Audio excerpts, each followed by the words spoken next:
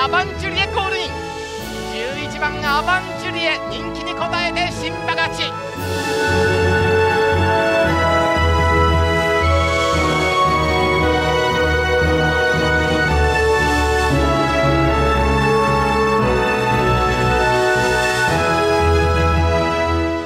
まだ広がっていますが4番ジャングロ粘っている。内から3番リアグラシア。これを捉えて先頭に回ったハンマシンリード。200を切って2番ティーコ固まって4番ジャングロ6番カミニートデルレイ外は7番レッドラディエンス2番ラコンタール1番アバンチュリエ広がってきますが今度は外から7番レッドラディエンスかレッドラディエンスレッドラディエンスゴール